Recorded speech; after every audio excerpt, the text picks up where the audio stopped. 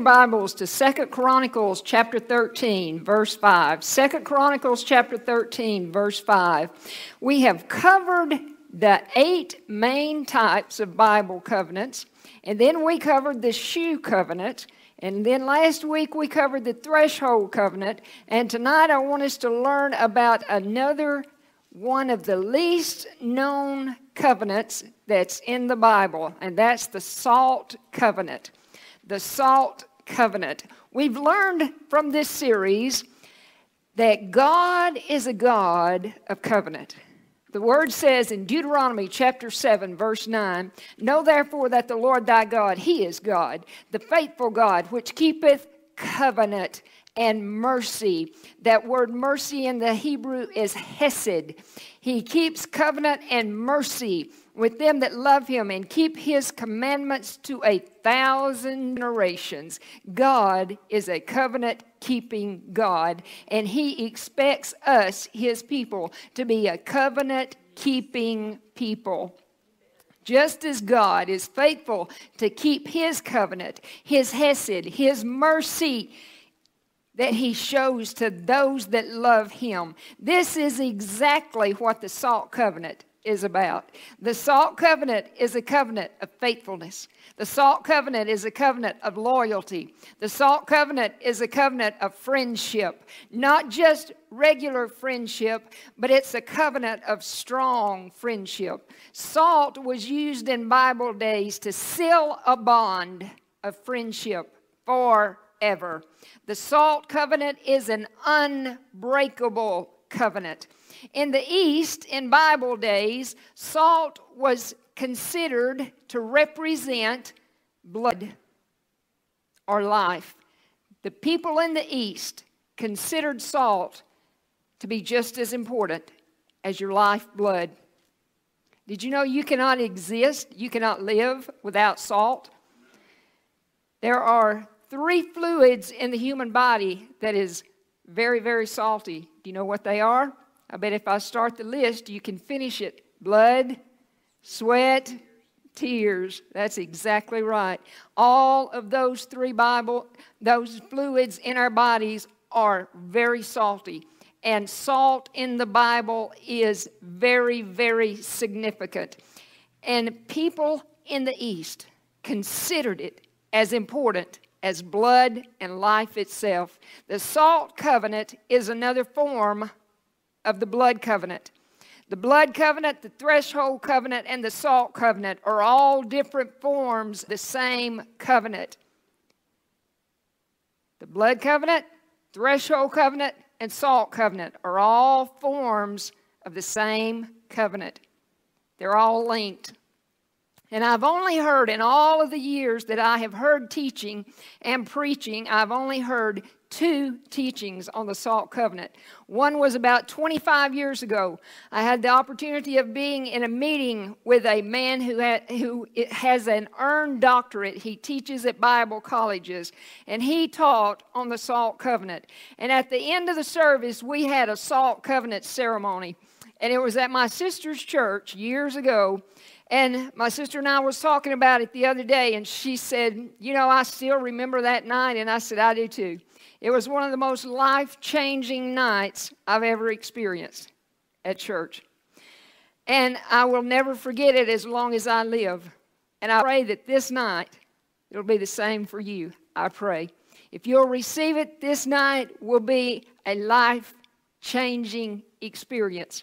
You'll never forget this night if you'll receive it from the Word and apply it this night. In Leonardo da Vinci's painting on, on the, of the Last Supper, how many of you have seen a picture of that painting? On the table in front of Judas Iscariot is a salt cellar, they called it back then. We call it a salt shaker. And the salt cellar or salt shaker in this painting is turned over on its side and salt is spilling out on the table. Did you notice that when you looked at that picture? It's a perfect symbol of a broken covenant. The Eastern expression to betray the salt meant to betray one's master. And that's exactly what Judas Iscariot did to Jesus. He betrayed his master. Now, why did Da Vinci paint this? It was to show us that Judas was eating a covenant meal with the Lord Jesus, yet he was a traitor.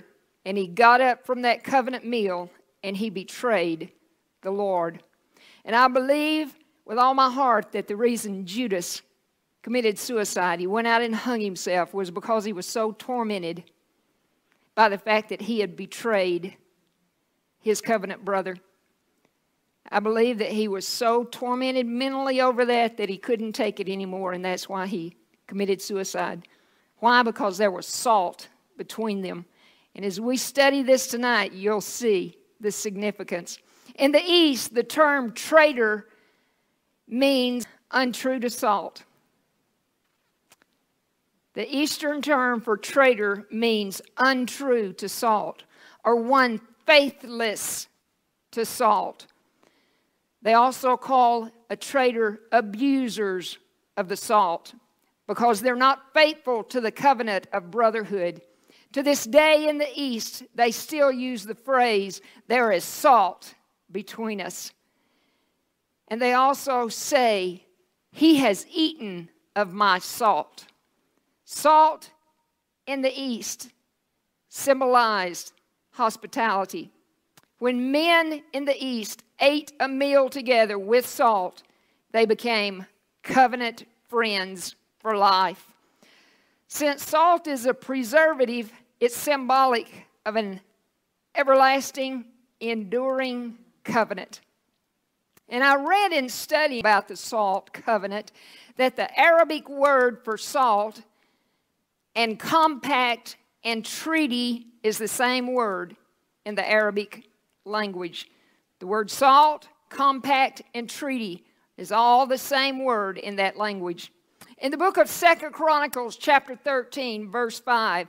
And if you mark in your Bibles, you need to mark this verse. Second Chronicles, chapter 13, verse 5. Ought ye not to know that the Lord God of Israel gave the kingdom over Israel to David forever, even to him and to his sons, by a covenant of salt? Had you ever read that before? A covenant of salt? We studied the Davidic covenant in detail, so I'm not going to spend time on it here. I only want to point out that God gave the kingdom of Israel and the kingship to David and to David's seed forever. And how did God do it? By a covenant of salt. God gave the kingdom to David. He set David in as king and David's seed after him. And God promised David that, that his seed would always reign and rule on the throne. And we know that the Lord Jesus Christ is a descendant from King David.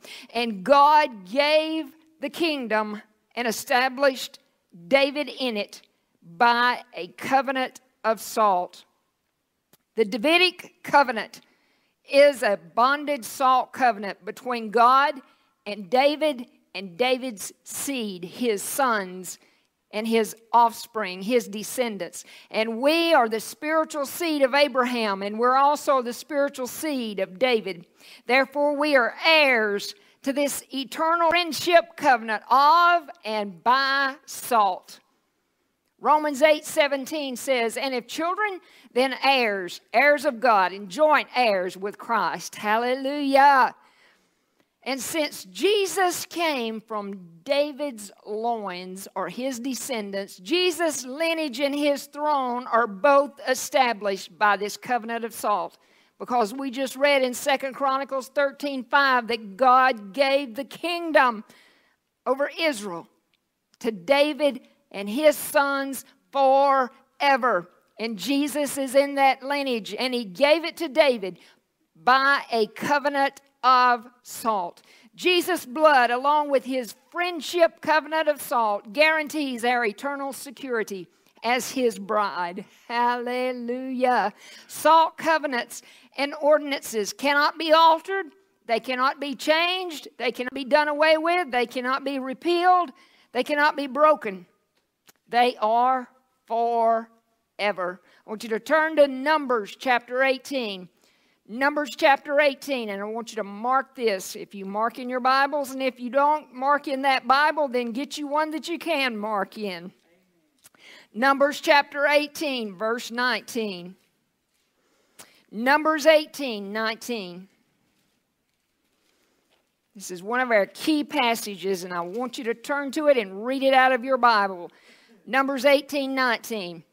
All the heave offerings of the holy things which the children of Israel offer unto the Lord have I given thee, and thy sons and thy daughters with thee by a statute. How long?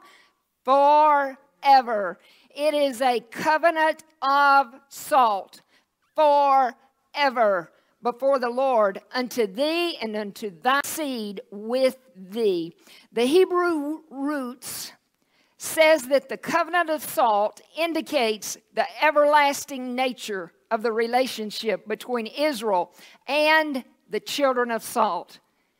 The children of Israel is called the children of salt. Why? Because they're in a salt covenant with Jehovah God.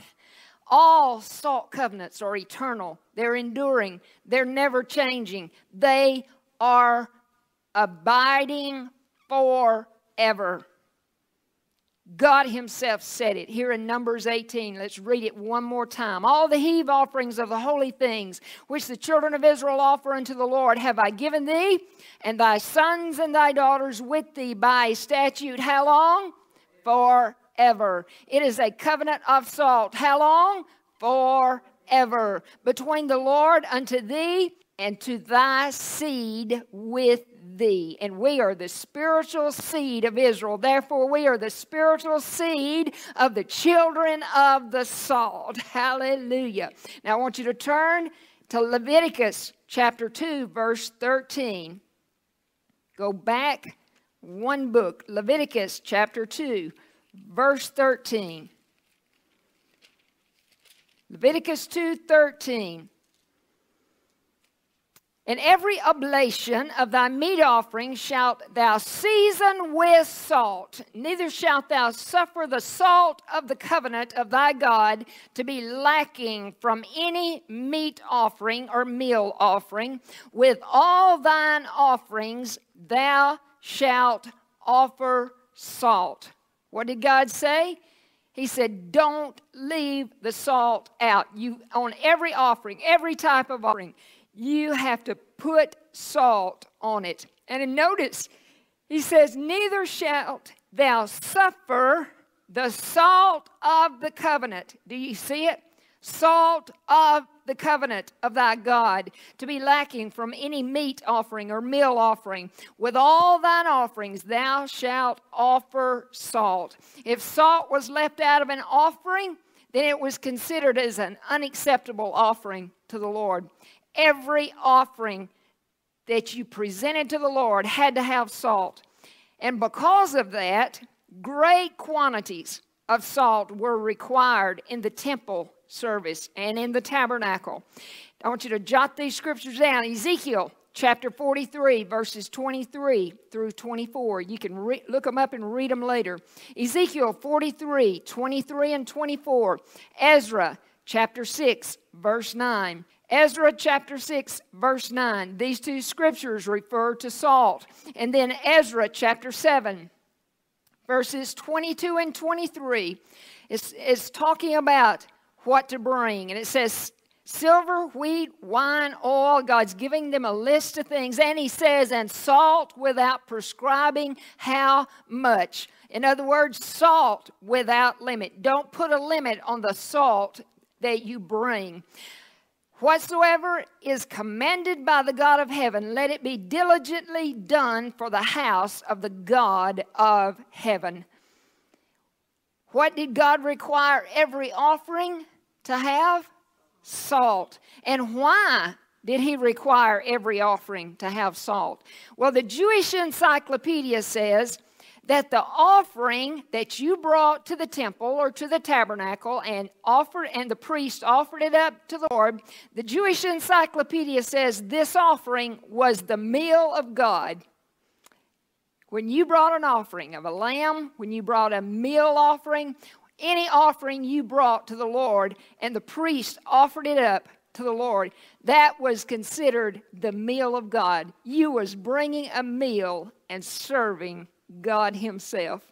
In Bible days, when two people entered into a blood covenant, they sealed the covenant with a covenant meal. And we're going to start the blood covenant next week, and I can't wait. We'll get into this in detail when we cover the blood covenant. The salt was a symbol of the eternal duration of a covenant, a covenant that would last forever. Salt is referred to in the Bible as symbolizing the covenant between God and Israel, the children of Israel, the children of the salt. In Leviticus 2:13 that we read, God said every offering was to have salt. That meant every meal offering, every grain offering, every burnt offering of animals. The priest was required to salt, the, salt that offering down before he offered it up to the Lord.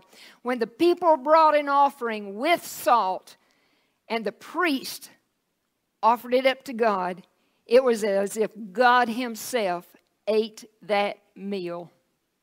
And depending on the type of offering that you brought, there were five main types of offerings that people brought in the in the Old Testament, and we don't have time to cover them because that's a whole teaching in itself. But depending on which type of offering that you brought, the priest also ate part of that offering. Also, very often, the person that brought the offering ate part of that offering too. So it was as if you and God sat down together and had a meal together. Oh, how awesome. It was as if God and the person that brought that offering was sharing a covenant meal. The bread on the table of shewbread was made with salt. Did you realize that? God instructed the priest to put 12 loaves of bread, representing one loaf for each of the 12 tribes of Israel. They, and they were to bake it fresh, put it on the table of shewbread, and it was to stay there for a week. And then they, the priest, would eat that bread. And do you know what I read in studying? I read that the bread was still warm and it was not stale after sitting out in the open. Can you imagine if you left a piece of bread laying out on your counter for a whole week? But the priest ate it at the end of each week when they would bake new, new bread. And so I have read in studying that the bread on the table of shewbread stayed warm and fresh, just as if it had been freshly taken out of the oven every week and it was prepared with salt. In Leviticus chapter 24, verses 8 through 9, says, Every Sabbath Aaron was to set the bread before the Lord continually, being taken from the children of Israel by an everlasting covenant. And it shall be Aaron's and his sons, and they shall eat it in the holy place, for it is most holy unto him an everlasting covenant, God said. Every Sabbath, Aaron, the high priest, was to set the bread on the, on the table of shewbread before the Lord continually. And it was to be an everlasting covenant. And Aaron and his sons, who were the priests, they ate that bread in the holy place, for it was most holy unto the Lord. The priest and God ate a meal together of bread and salt every week. The Jewish Encyclopedia says after the destruction of the temple, and the people could no longer bring their offerings to the temple, and the priests could no longer minister in the temple after that temple was destroyed. The Jewish Encyclopedia says that the table that you set in your home, when you set that table for a meal, that was considered your altar. From the point that the, the temple was destroyed, from that time forward, your table in your home, that was your altar. And the rabbis say that salt should be put on the table and that blessing should not be recited without salt on that table.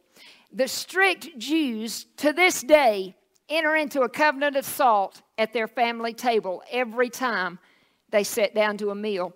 The head of the house in the Jewish home speaks the blessing over the bread. That's the first thing that they do when they sit down to a meal in a Jewish home. The blessing over the bread is Blessed are you, O Lord our God, King of the universe, who causes bread to grow out of the earth. And then the Jewish father takes that loaf of bread and he breaks it in as many pieces as there are persons present. If there are five people at the table, the Jewish father breaks that loaf of bread into five pieces. And then he dips each piece in salt. And then he hands each piece to each member of that household sitting at that table, and then every one of them eat that bread together. They are entering into a salt covenant every time. Why? Because the table is now their altar. In Exodus chapter 30, verses 34 and 35, this passage describes the ingredients of the holy anointing oil. And they were to be mixed. These ingredients of the holy anointing oil was to be mixed and tempered together. This word in the Hebrew, this word tempered means salted. So salt was even used in the holy anointing oil in the temple.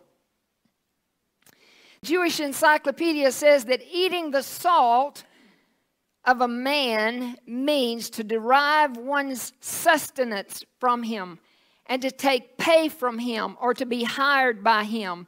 Ezra chapter 4, verse 14 says, Now therefore we have maintenance from the king's palace, and it was not meet for us to see the king's dishonor. Therefore have we sent and certified the king. Now we read this in the King James, and it doesn't make sense to us, but in, to the Hebrew mind, it makes perfect sense. That word maintenance, now because we have maintenance, that word maintenance in the Hebrew is is malach, M E L A C H, M E L A C H, and it means to eat salt. The literal translation of this verse is We are salted with the king's salt, or we eat the salt of the king's palace. In other words, they were on king's payroll and they were being paid by the king. And how was the king paying them? In salt. Salt was considered so valuable in Bible days that it was equal to money. And in many places, salt was used instead of money. In some lands in the East, gold was abundant, but it was not considered as important as salt. Gold itself was con- considered to be of less value than salt.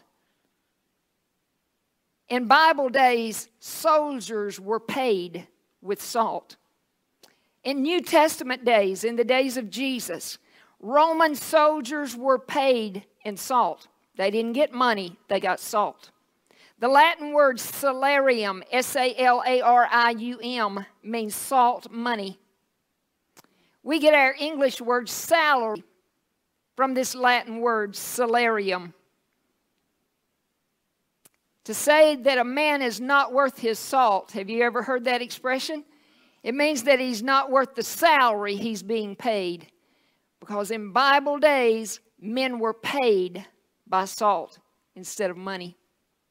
The Israelites knew that salt was a preservative.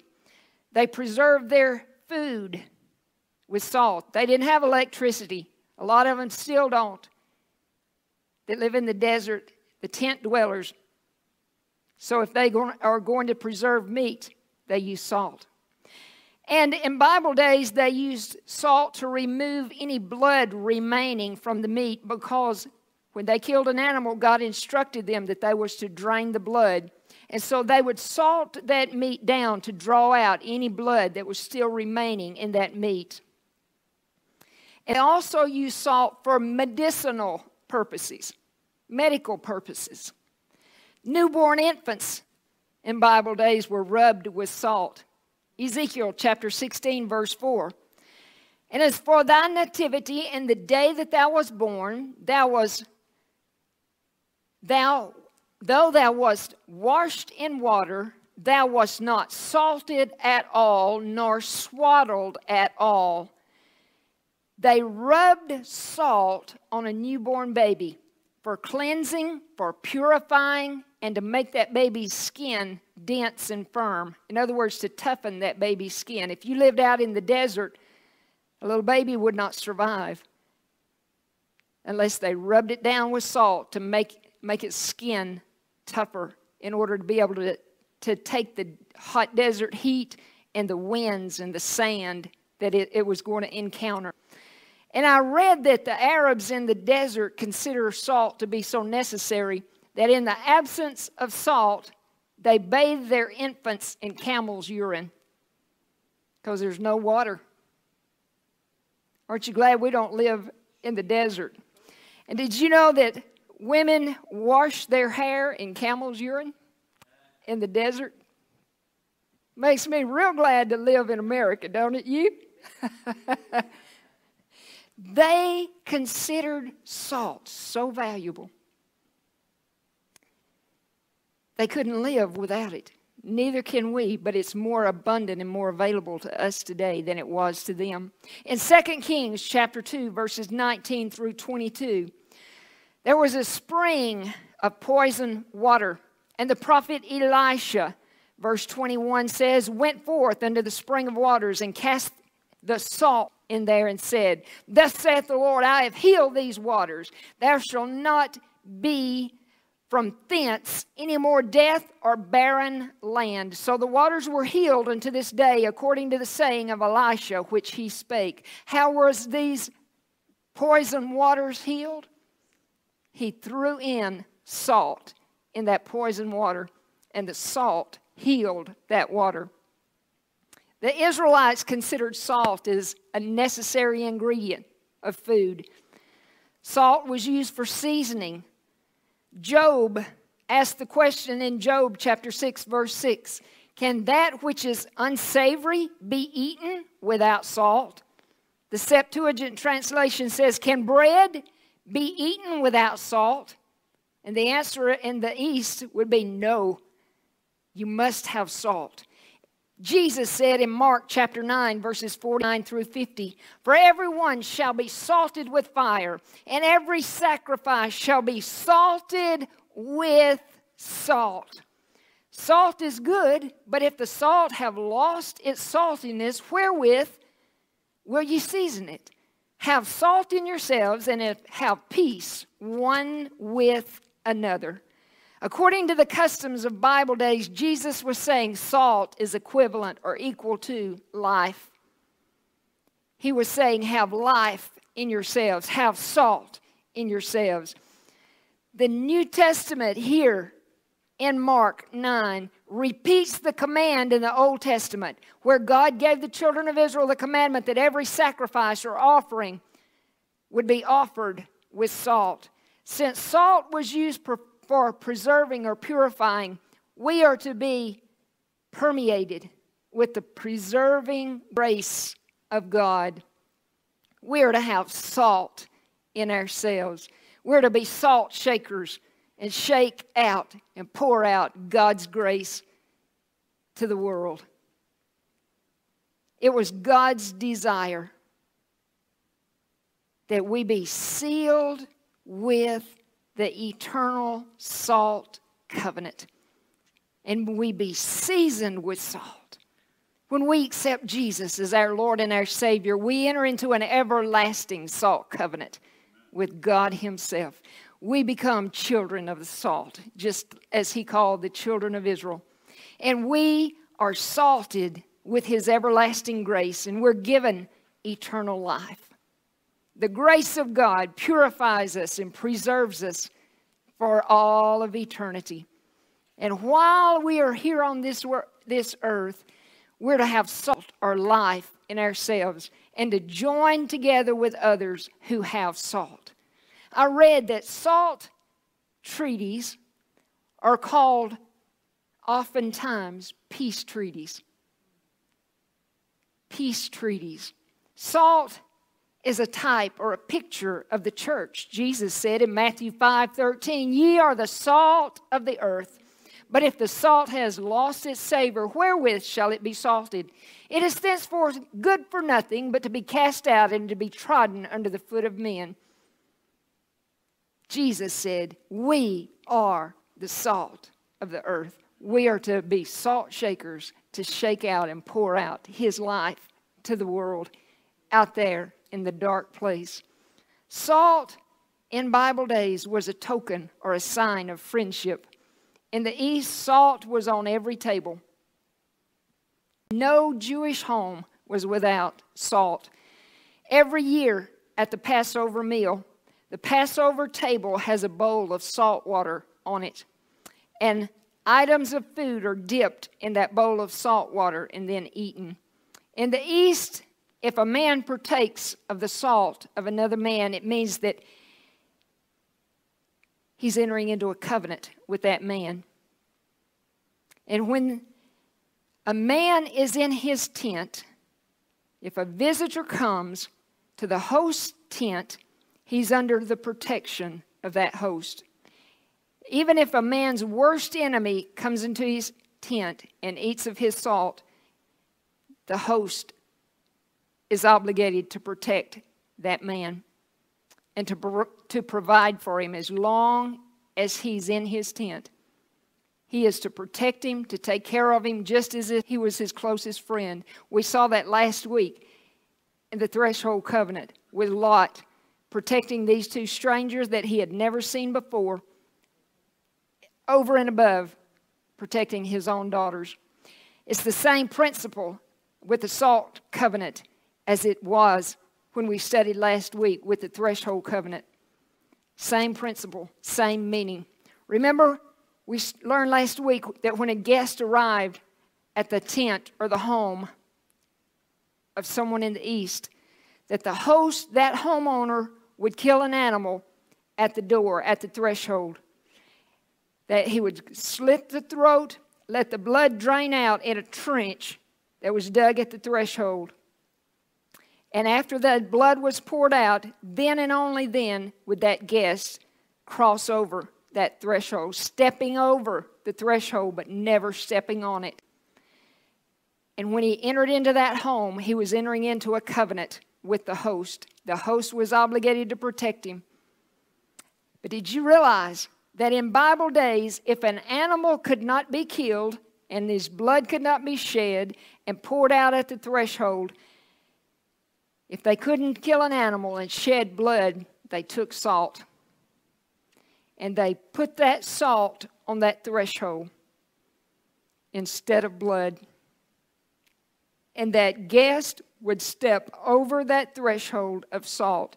And it had the same meaning and the same significance and the same binding force as if it was blood. Salt and blood to the man's mind that lives in the East are the same. Salt was recognized to be equivalent to blood. Adam Clarke commentary says that salt was used as the emblem of an incorruptible covenant, and those who ate bread and salt together were considered as having entered into a very solemn covenant. One way in which two Bedouin tent dwellers in the East entered into a covenant in Bible days, and many of them still today, they do this.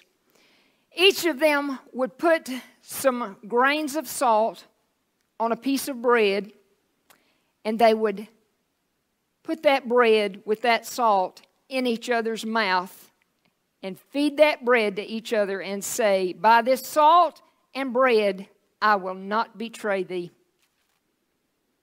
Another way that they entered into a covenant of salt in Bible days was that two men would pour salt in their right hand, and then they would throw that salt over their right shoulder, and then they would shake hands and grasp each other's hand with that residue of salt still in their hands. And they would say, there is salt between us. And that would seal that covenant agreement that they had entered into. Back in Bible days, when two men entered into a business agreement, they would sit down and they would go back and forth over the terms of the agreement, deciding what it was that they was going to enter into a covenant. It would be like us making a contract today. And after they would agree on the terms, they would eat salt. And then they would realize that by eating salt, that would bind them together in what they called a salt covenant. This salt covenant established a contract that could not be broken in Bible days. In the East, to swear by the salt was to swear an oath to keep the agreement or the covenant. In Bible days, every man carried a leather pouch that had salt in it.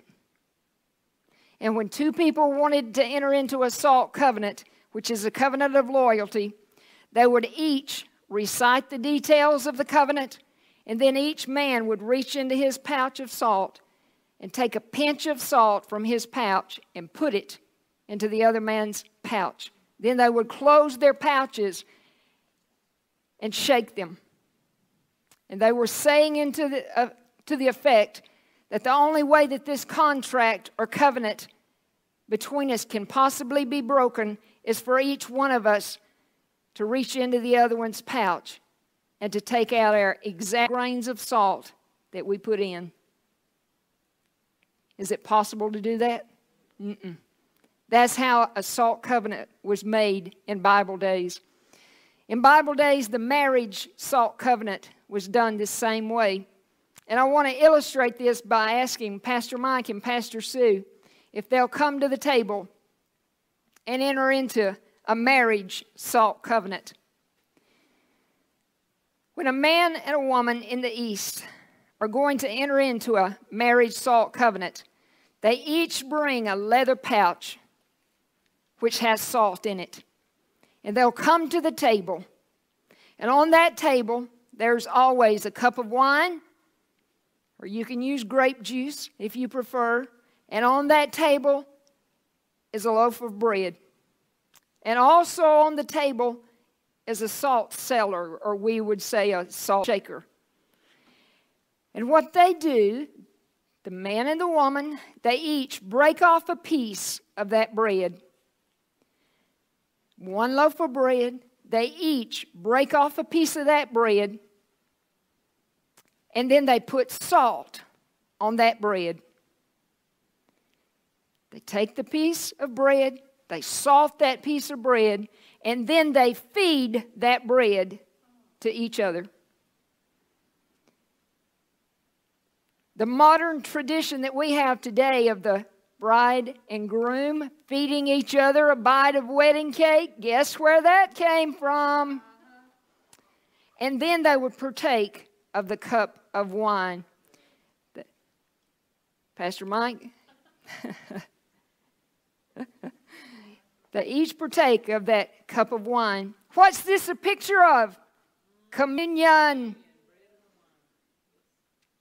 And then they each open up their leather pouch and they reach inside and they take a pinch of salt from their pouch. And they put that salt into the other one's pouch. And then they close the pouches and shake those pouches. Now, Pastor Mike, you reach into Pastor Sue's pouch and you take out the exact grains of salt that you put in.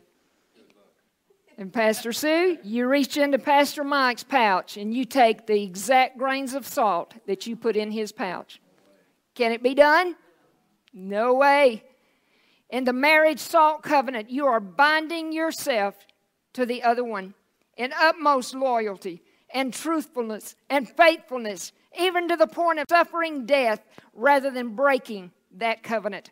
You are showing that your commitment to each other cannot be broken unless you can retrieve your own grains of salt from the other one's pouch.